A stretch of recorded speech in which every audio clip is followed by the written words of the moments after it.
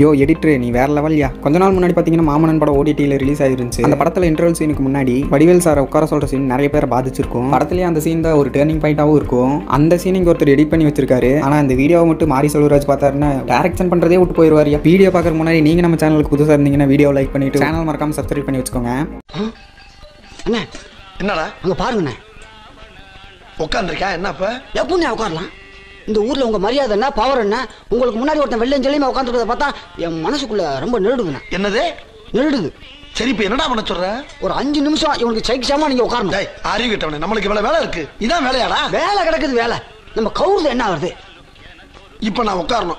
உட்கார்ந்தா உனக்கு சந்தோஷம். ஆமாண்ணே. விடு வா. நம்மளுக்கு காலையில என்ன? எவன் சொன்னா?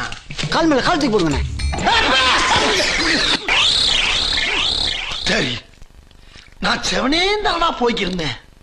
யார் வம்பு தும்புக்காச்சும் போனனா கௌரவம் கௌரவம்னு என் கௌரவத்தையே நான் ஆரம்பிச்சிட்டீங்களா